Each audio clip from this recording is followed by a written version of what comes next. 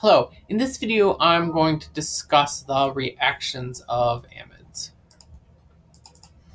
And if you've been watching along on my video series of the, the on the carboxylic acid derivatives, there's not going to be a lot here um, because amides pretty much only do one thing, uh, well, well, two, a couple of things uh, that are worth talking about here.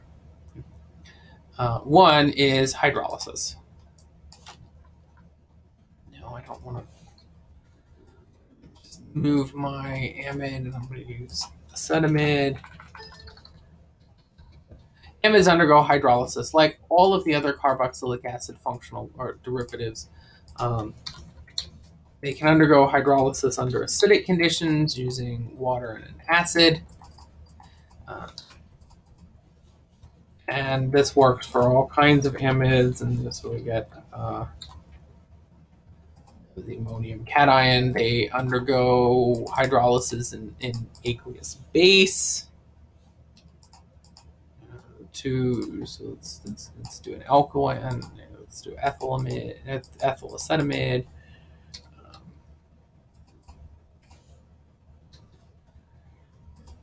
so so you know initially,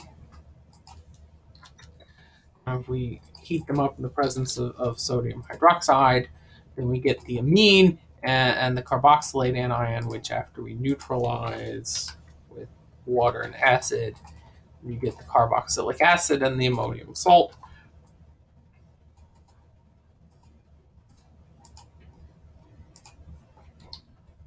There we go.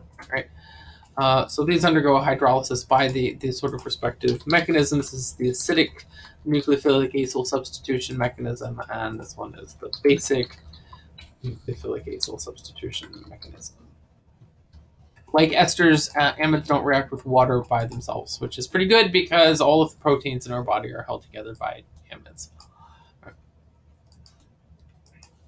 This is basically it, except for the conversion to nitriles.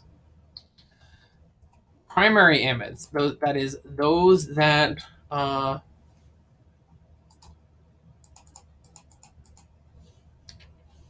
have two NH bonds can be converted into nitriles by a variety of dehydrating agents like thionyl chloride or uh, other kinds of, of dehydrating agents. Uh, but I'm just going to do thionyl chloride. And this is a variation of this is there. Uh, this is I was going to say something that was, that was wrong. So here we go, and then like all of the uh, other kinds of things that this generates SO2 and two hydrogen chlorides, not 21 hydrogen chlorides, two hydrogen chlorides. So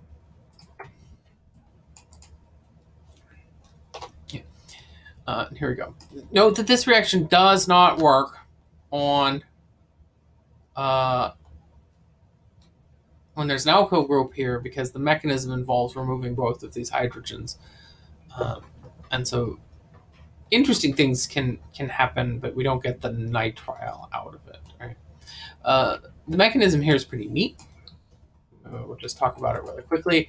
It's it, it, it is and it isn't a nucleophilic acyl substitution mechanism. Um, so first off, it's the, the, the carbonyl oxygen of the amide is nucleophilic. And just like the carbonyl oxygen of all of the functional these functional groups is nucleophilic.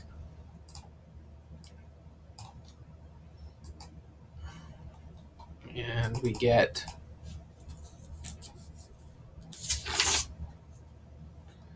And so we get initially oxygen here, sulfur, oxygen, chlorine, no, chlorine, nitrogen, and our nitrogen here has an extra hydrogen on it uh, because it still has that. And, and this thing's pretty acidic, so even though we wouldn't normally consider chloride anion to be a reasonable base, uh, for the sake of, of neatness, I'm going to just use it.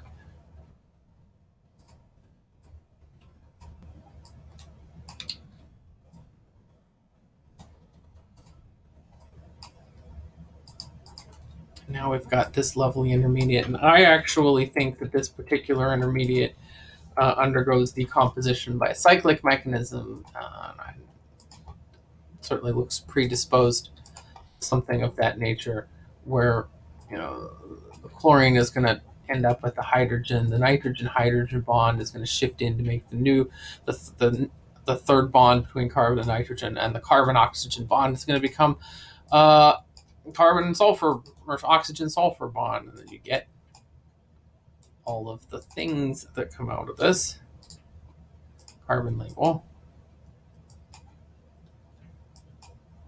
Uh, sulfur, sulfur dioxide, which uh, you might suspect is linear but isn't, and um, hydrogen chloride.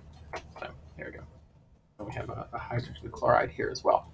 So uh, these are the reactions of amides. There are other things that amides can do, some interesting rearrangements and, and degradations and, and, conversions to things. Um, but as far as the interconversions between carboxylic acid derivatives, they can be hydrolyzed to carboxylic acids or they can be converted into nitriles. Okay. In the next video, I'm going to talk about the synthesis of nitriles, which uh, is, should look pretty similar because I'm just going to go over this particular reaction again. Uh, and then I'll finish up uh, probably in the same video, just talk about the reactions of nitriles, which are, in this context, hydrolysis.